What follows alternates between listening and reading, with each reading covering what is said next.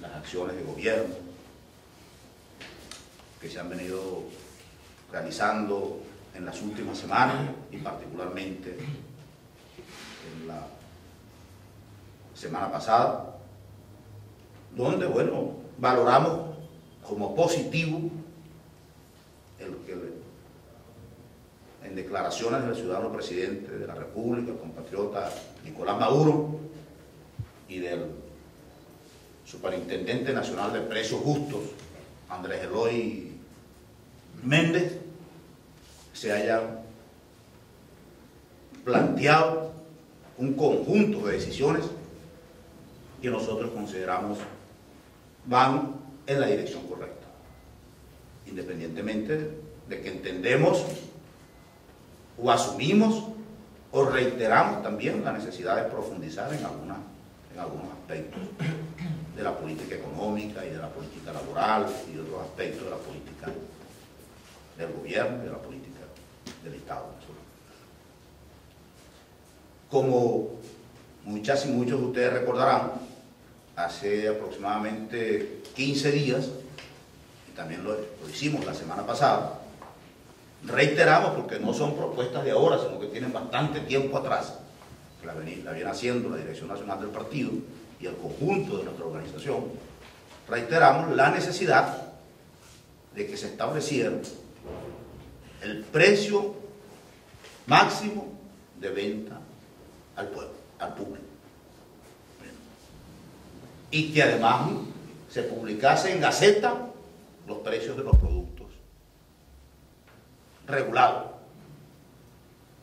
Y además, insistimos con el además, que se tomasen medidas para que la especulación y el acaparamiento, algunos de ellos que se daban por la actuación de mafias que utilizan el comercio informal, pero son mafias que están detrás de eso, que utilizan a los trabajadores y trabajadoras del comercio informal y que debían ser también golpeadas. No, nos satisface en la medida de que todavía faltan cosas por hacer, pero no, no estamos totalmente, o sea, pensamos que es un paso en la dirección correcta, que hay que profundizar, que hay que continuar. La decisión del ciudadano presidente de la República de establecer el marcaje de los precios mínimos de venta al, público. Que signifique a la vez acciones contundentes mediante un plan que, anunció el Superintendente Nacional de Precios Justos para, con varias fases, la de la pedagógica, la informativa, la sancionatoria eh, de carácter administrativo y las acciones de carácter judicial de ser reincidente que se han planteado para el caso de la venta de los productos de primera necesidad a precios eh, realmente especulativos, de agresión al pueblo que en algunos niveles del comercio informal se utiliza.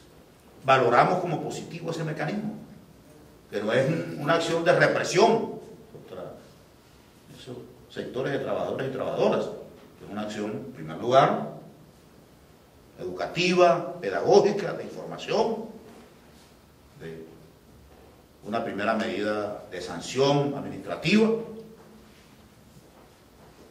o dos primeras medidas de sanciones administrativas, y una tercera, si es reincidente, de carácter judicial. Pero eso es correcto. El pueblo está demandando medidas de ese tipo. Que demuestran que hay una dirección desde el Estado que está al tanto de lo que está aconteciendo en la calle y está adoptando las medidas que ayuden, aunque no resuelvan de manera definitiva, ayuden a superar la complejidad del momento económico. Y que junto con golpear el contrabando todo su sentido y adelantar un plan de desarrollo productivo a nivel de la reindustrialización o de la industrialización, porque realmente en Venezuela la industrialización siempre ha estado muy limitada. Un plan de verdad de industrialización y desarrollo agroproductivo con participación protagónica de los trabajadores y las trabajadoras y de las comunidades organizadas son realmente fundamentales para poder atacar las razones de fondo de esta situación, de la situación de la economía.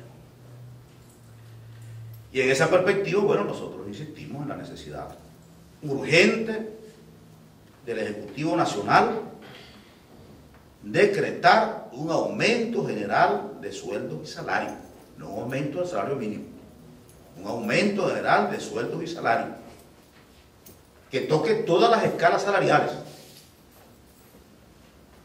con porcentaje diferenciado, porque asumimos que el porcentaje mayor debe ser para los salarios menores y los sueldos menores. Y los porcentajes menores deben ser para los altos sueldos. Y no como a veces se hace, que los altos sueldos se colocan un 30% y a los trabajadores con más bajo salario le colocan el 5%. Conocemos de eso en instituciones del Estado. Hoy no las vamos a denunciar, pero la estamos haciendo el acopio de información correspondiente, porque cuando lo tengamos, lo vamos a hacer. En privado, ante las instituciones, y también en público, si las instituciones, en privado no. Esa es la conducta de nuestro partido. Con el pueblo, articulando donde hay que articular, y también con la opinión pública cuando no hay la respuesta suficiente. El grupo político considera como positivo el golpe reciente que se dio en las tejerías contra una empresa que tenía un galpón que según nos dicen, eh, o dos galpones, las dimensiones son de una hectárea, pues 10.000 metros cuadrados.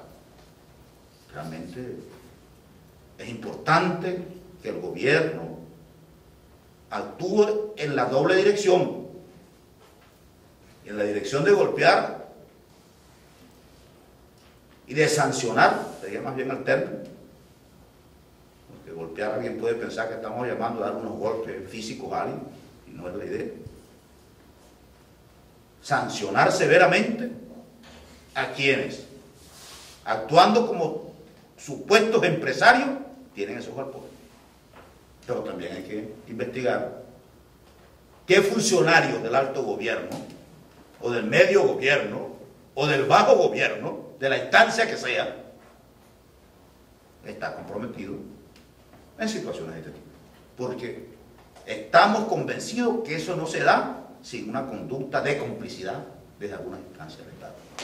Es ahí también la importancia de la depuración de los cuerpos de seguridad, porque muchas veces la inteligencia conoce estos casos, funcionarios de inteligencia, funcionarios de seguridad, bueno, y lo que hacen es coaligarse con los bandidos, con los bandoleros, y no informar a las autoridades competentes para adoptar las medidas correspondientes.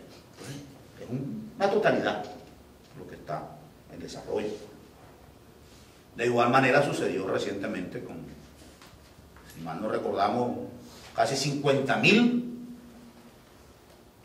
kilos de carne subsidiada por el gobierno, importada de Uruguay. Bueno, y en algunos depósitos en Valencia para venderla no al precio regulado, sino al precio liberado para obtener la máxima ganancia por la vía de la especulación. Y por eso es que nosotros insistimos de que a los sectores del capital no hay que darle ni un dólar. Porque si el Estado es el dueño de, de los dólares por la vía del ingreso petrolero fundamentalmente, debe no entregarle dólares a ningún capitalista. Porque esa es la conducta de muchos de ellos, de muchos de estos sectores. Estamos de acuerdo con que se deben tomar medidas drásticas que toquen y sancionen a ciudadanos y ciudadanas, venezolanos y venezolanas, Y también hay quienes no sean venezolanos y venezolanas, estén actuando indebidamente en el territorio venezolano.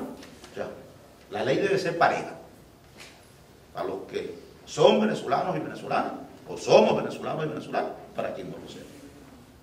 Obviamente, quien no es de nacionalidad venezolana, tiene una cédula de, tránsito, etcétera, utiliza esa estadía en Venezuela para delinquir, no solamente debe ser sancionado judicialmente, sino que también tiene que ser regresado a su país. Eso es correcto. Eso sucede en todas partes. Eso no tiene por qué, eh, levantar roncha, sino más bien eso debe ser apoyado eh, masivamente por nuestro